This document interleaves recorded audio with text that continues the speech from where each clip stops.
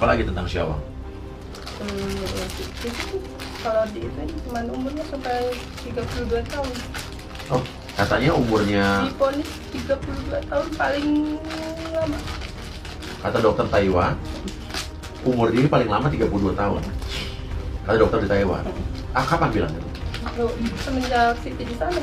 Terus kalau kakaknya semenjak saya ribut minta buat obat dia, dia pernah ngomong kayak gitu. Bilang gimana katanya? Eh, Uang segitu kan katanya cukup kan sampai umur dia 32 tahun, dia gak bakalan lebih dari 32 tahun gitu. Itu kata kakaknya. Umur kita nggak ada yang tahu. Iya. Dan apalagi Bener. kita lihat sekarang apa sih Syawang ini Sehat. Sehat. Sehat. sehat bener sehat nggak nggak sakit nggak lemes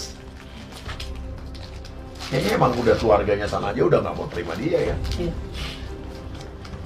lagu apa dia suka ya lagu anak-anak lagu apa Dulu dia waktu papanya masih ada Iya. selalu dinyanyiin kalau malam. apa lagunya apa apa lagunya Orang Taiwan.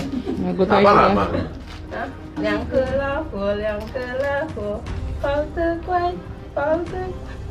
林克亚佛，林克亚佛，我的乖，我的乖。Terus 一直没有眼睛，一直没有眼睛。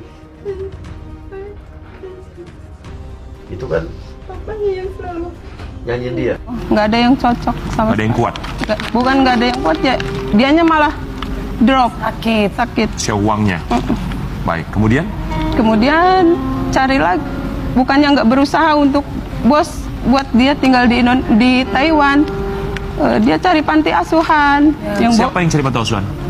Eh, ini Orang tuanya dia. orang tuanya dia Orang papanya tuanya. dia Syawang. Malah orang tuanya Syawang malah mencarikan panti asuhan Ya. untuk Syawang. iya dia selalu angkat tangan kan itu di situ ada kayak sekolah kayak gini kan di, dikhususkan untuk mencari panti asuhan Mhm.